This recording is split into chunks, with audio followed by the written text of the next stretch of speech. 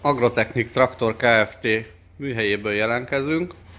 Jelen pillanatban egy Kubota GL23-as traktor szervizelés, szervizelésével foglalkozunk, amelyen minden olaj természetesen lesz cserélve, illetve átnézzük a, az egész traktornak az állapotát, hogy minden tökéletesen működjön. Csányi Rajmund szervizeltő kollégámnak a segítségével mondanánk el néhány szót erről a traktorról, hogy esetlegesen a Kubota GL típusnak vannak-e hibái, illetve mire figyeljünk oda. Azt azért én hozzátenném, hogy én felhasználási szempontból nagyon-nagyon kedvelem ezt a típust.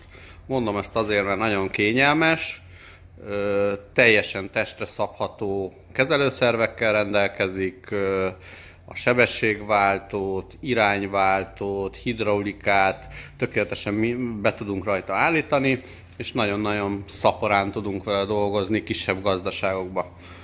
Rajmund, tudnál mondani erről a traktorról pár szót? Milyen ö, hibákkal találkoztál? Ö, esetlegesen mire kell odafigyelni ennél a típusnál? Hát, ha tudunk adni egy-két jó tanácsot. Szervusztok! Típus hibának mondhatnám ezt a dolgot.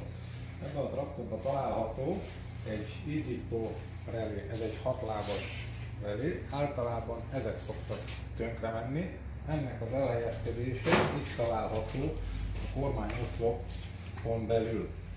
Na most jobb helyeken ezt szokták egy sima relével helyettesíteni, vagy pedig Izzítás után elfordítjuk a gyújtás kulcsot, mintha indítanánk, és egy kis idő múlva benyomjuk a kuplungot. Természetesen indulni fog a traktor, az izzító relé nélkül is, de ezt nem javasolom azért senkinek. Következő hibák, amik szoktak ennél a traktornál lenni, ugye a szimeringek, általában a sok állástól a hátsó kerékagy szimeringek, az első kerékagy szimeringek és a függő szimeringek szoktak tönkre menni. Ide milyen szimeringeket szoktál betenni?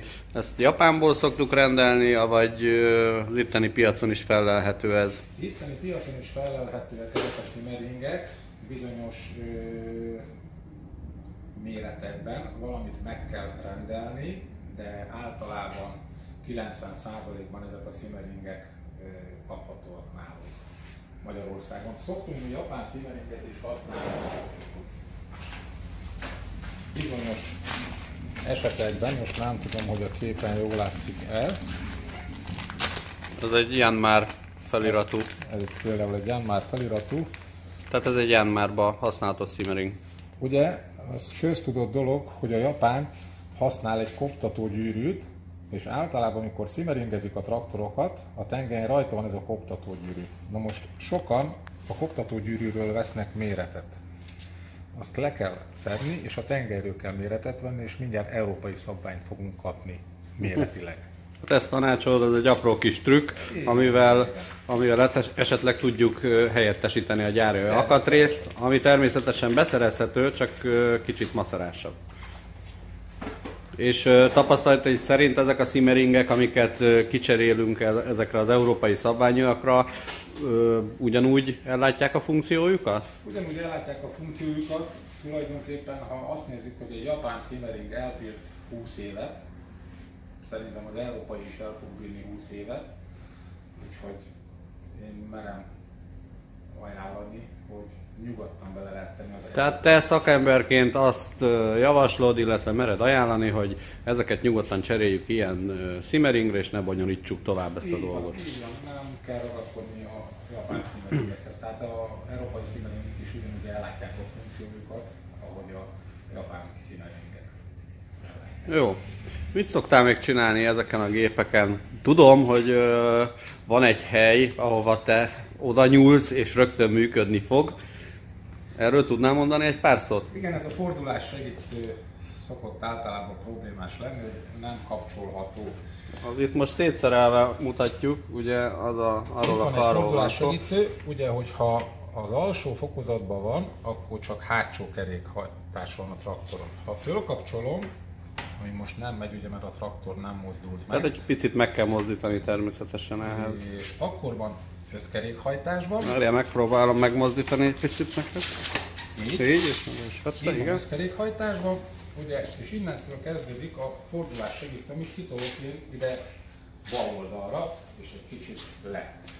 Na most itt a problémák azok szoktak lenni, hogy szállítási problémák szoktak lenni, amit ugye a japán kollégák berakják a traktort, és itt alul található egy lemez, ami elhajlik. Ugye sokan nem foglalkoznak vele, azt mondják, hogy nem lehet bekapcsolni, biztos tönkremet a traktorba valami. Egy egyszerű csavarhúzóval benyúl az ember, lenyomja a lemezt egy kicsikét, és gyönyörűen veszi a fordulás segítőt. Ez általában azért van, mert a japánok arányulnak targoncával, ugye? Igen, igen, igen. Tehát Ugye mi nem így szoktuk kiszedni. nem így szoktuk mi kiszedni, mi gurtnit használunk, négy oldalt, és targoncával alányújtva, felakasztjuk a gurtnikat. Értem. És egyébként még valami probléma ennél a típusnál. Ebbe sokat adtunk el, ugye? Sokat újítottál fel, raktál rendbe. Igen, hát ő is ez a DL23-as is éppen simogatás alatt lesz.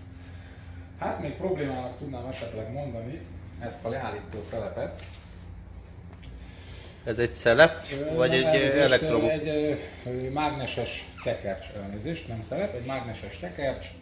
Tulajdonképpen ez szokott még problémát okozni, de erre a japán kitalálta a mechanikus leállítását, és ugye amit én most már kikötöttem a traktorból, mert felújítás alatt lesz, nem meg tudom mutatni. Jó, tehát, tehát egyszerűen van egy kihúzható kar, ami gyakorlatilag elzárja a üzemanyag úgy, útját, ugye? Igen. Ezen van is egy ilyen ikon, gyakorlatilag egy, egy motor van rajta, keresztbe húzva, tehát ezzel is le tudjuk lehet állítani, ha az véletlenül Nem működik. nem működik. Ugye ez a bódon ez ide van becsatlakoztatva, Hozzátesszük, hogy ilyet azért sokat hoztunk Japánból már, ugye? Igen, tehát ebből a, a mágneses kis munkahengerből már sokat hoztunk. Igaz, hogy drága, valaki nem sajnálja rá a pénzt, mert azt mondja, hogy akkor legyen eredeti, és legyen hibátlan. Valaki azt mondja, hogy marad a bovdanos megoldásnál, ami ugye ezt ha meghúzom, jól lehet látni, hogy ez a kis fehér profil mozog, ugyanezt csinálja a mágnes is.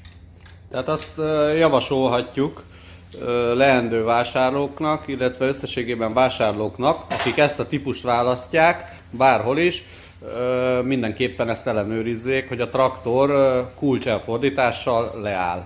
Így van, E. és kulcsal fordítással ízítek. Hogyha nem, akkor ez a két Ez a két probléma van, ami egyébként kiküszöbölhető. kiküszöbölhető, illetve a traktor tökéletesen használható. Most nem milyen olajakat javasolsz, és milyen időközönként?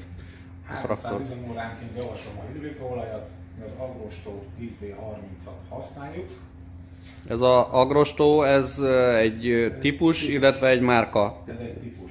Ez egy típus. Ez a japán ö, olajnak az egyik megfelelője. Ö, tulajdonképpen lehet kapni másfajtát is, de mi ezt Tehát ilyen van a Shellnek, Molnak, nem akarunk reklámot csinálni nekik.